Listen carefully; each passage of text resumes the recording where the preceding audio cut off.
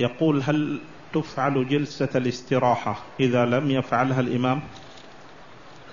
جلسة الاستراحة لل... للذي يحتاج إليها كالمريض وكبير السن ولو لم يفعلها الإمام. أما القوي فلا يفعل جلسة الاستراحة غير مشروعة للقوي وإنما هي مباحة لمن يحتاج إليها لكبر أو لمرض. نعم.